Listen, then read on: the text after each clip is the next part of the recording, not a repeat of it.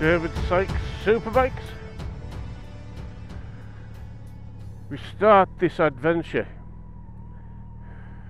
for reasons of wanting to start it here at Horden, right on the Durham coast, home of David Sykes Superbikes. But all of this area were coal mines, pit villages, the whole coastline. That's how it survived. That's how it grew. But it's also famous for a couple of other reasons.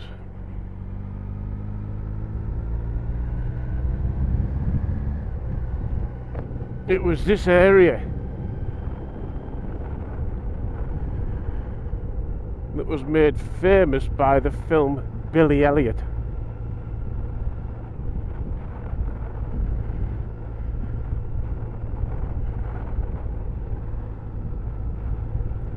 And it's also the road that I used to travel on every other Saturday as we went down to see my father's parents that lived at Hartlepool. And we had a Ford Cortina Mark II with the registration number PLE 416E. I've never forgotten that. I've, I can't remember any others, but I remember that one. How strange. The whole of this area has changed dramatically, though. As all areas have, really, over the years.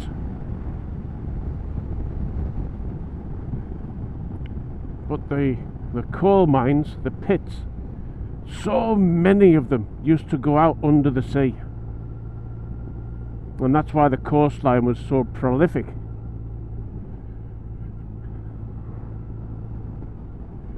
In having pits. Every, just every few miles there was a different pit.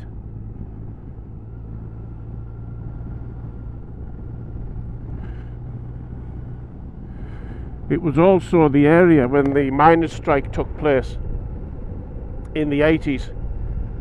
Families fell out.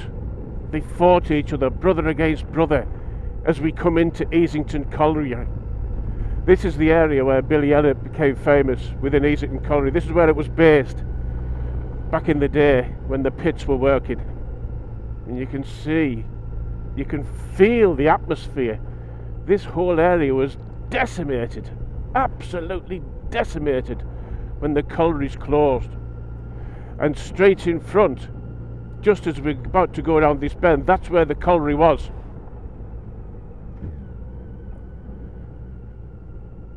There was a massive great pit there, pit heads, you know, the wheels at the top of the, the mine shafts. Just to the right here, the vision that's in my mind is, is striking.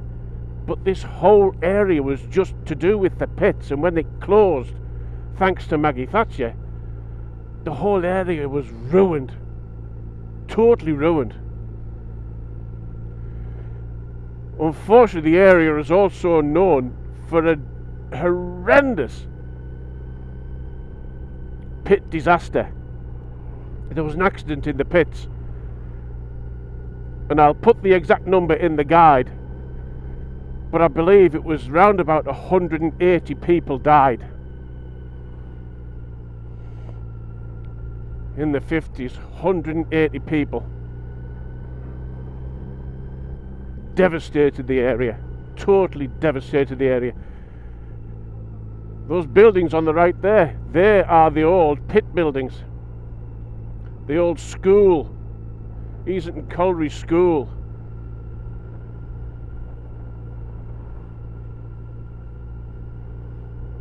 I don't know if this area is even recovered yet from all those years ago after the disaster as well as when the pit closed there's no sign of the pit anymore there's a few monuments kicking about but there's nothing left of the, the pit. In fact, as I look across to the right, it looks like it's allotments so that they can go and get a piece of ground and grow their crops.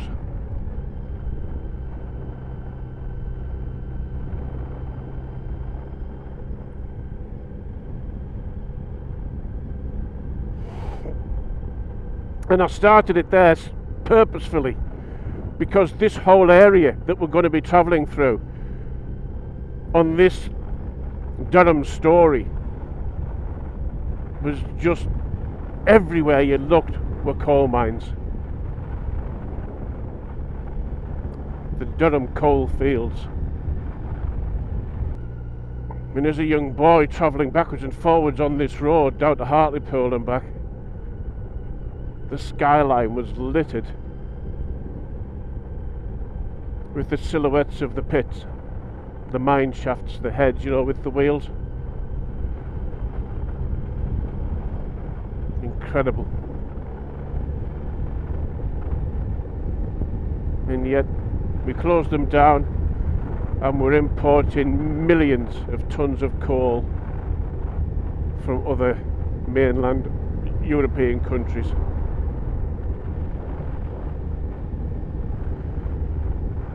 God, it beggars belief.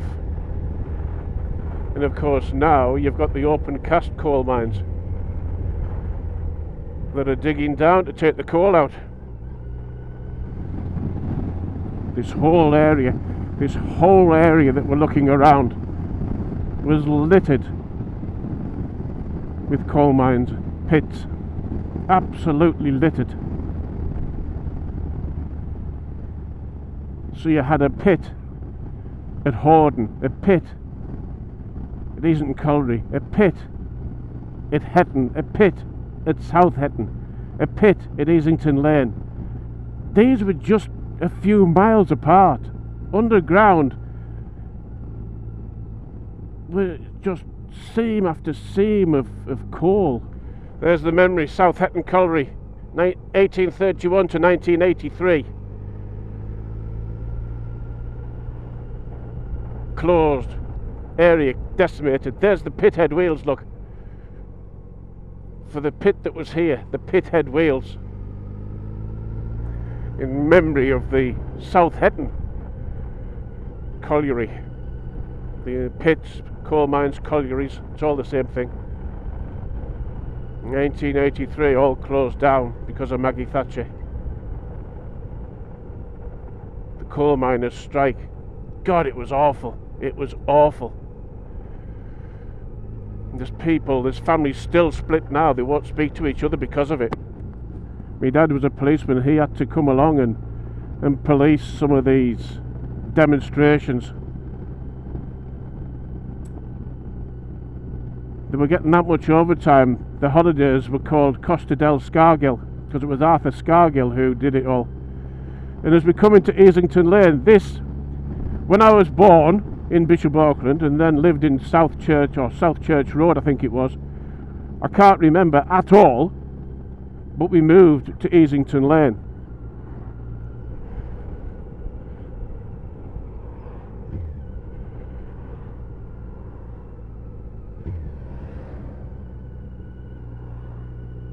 But I'm going to turn right here because I don't think we're going to be able to park and then see it. Oh god, I can't go that way. This is where I first moved to, was here.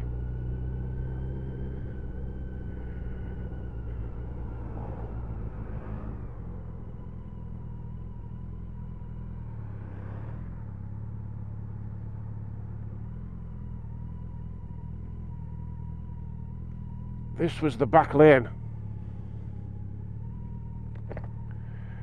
Bloody hell.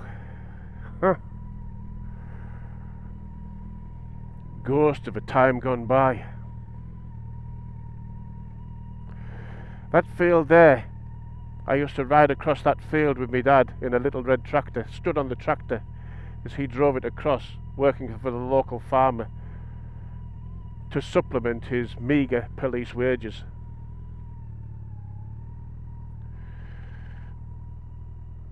And that was my house there. That one in the back garden one winter. It snowed that heavily that he carved out of the snow a car that I could sit in. And I remember sitting in it and my arse was freezing. But on a more funny sort of note, I guess, I also had a rabbit hutch with a rabbit in. And I can see my father now grabbing my rabbit by the back legs and hitting it behind the head with a poker to kill it. It must have been so we could eat it because we were that poor. But that was the house where I also had my first experience of nearly dying. I caught German measles and got a horrendous temperature.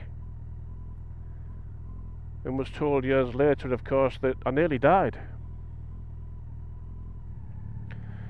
Directly opposite here used to be a farm, hence why my dad would be driving the red tractor.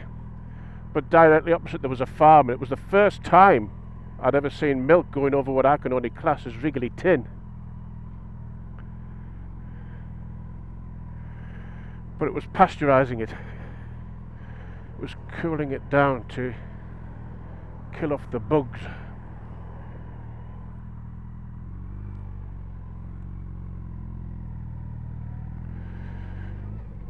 And on the left there was the school, the infant infant school, now a housing estate.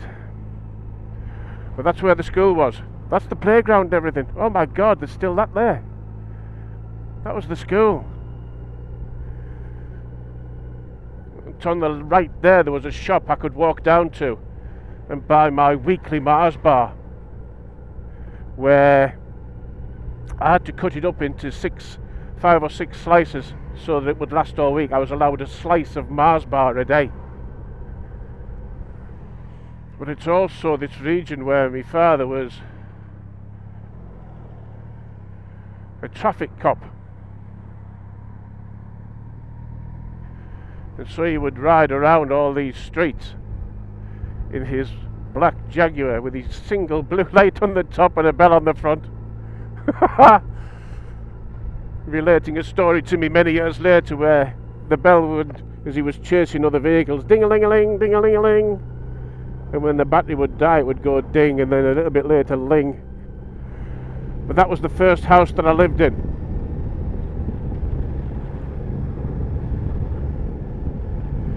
But it was a pit village. Nothing but a pit village. And this is where the pits used to be over here.